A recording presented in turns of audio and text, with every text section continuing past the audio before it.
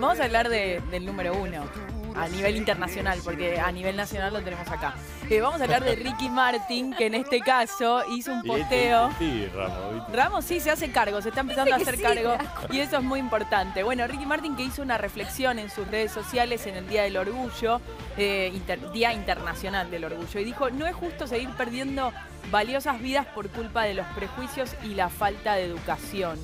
Y esto tiene que ver con que el cantante hace pocos días publicó una foto con su marido, son estas fotos que hicieron especialmente para eh, una revista, ¿no? Justamente en el mes del orgullo.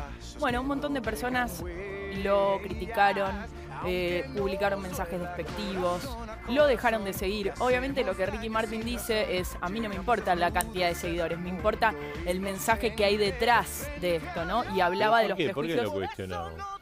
Y porque todavía, evidentemente, hay Ay, muchas cabeza. personas eh, eh, retrógradas. Lo, de- lo del tema de su pareja, recontra conocido. Sí, pero vos sabés que justamente ayer en el Día Internacional de- del Orgullo, él quiso hacer esta reflexión como mostrando que todavía a nivel global falta mucho, mucho trabajo para hacer. Claro. Entonces, él justamente hacía hincapié en esto. Primero que hacer esa sesión de fotos para la revista fue una experiencia maravillosa y una manera de celebrar nuestro orgullo, decía Ricky Martin. Por otro lado, dice, eh, un número grande de personas decidieron dejar de seguirnos y comentar de manera despectiva.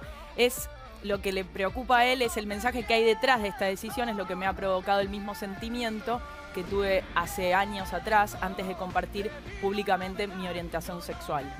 Bueno, un, mensaje recontra profundo, pero eh, en un momento pone esto que me parece importante. Lo que deseo en esta vida es que todos podamos sentirnos libres, orgullosos de nosotros mismos, felices, que seamos amados, respetados y aceptados, entre otras cosas. Y justamente hacía hincapié en esto que decía al principio. No es justo seguir perdiendo valiosas vidas por culpa de los prejuicios y la falta de educación. Ahí está el foco, ¿no? En la, en la falta de educación que todavía hay con este tipo de temas. Bien, ahí está. ¿eh? Sie- siempre él da, viste, está, da la nota, ¿no? Sí, sí, bien. Bien, muy bien. Eh, nos vamos a ir